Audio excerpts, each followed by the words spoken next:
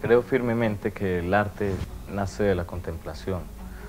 No hay manera simple de observar lo que nos ofrece la naturaleza con tanta complejidad. Es en esa interacción con la realidad que nace mi obra.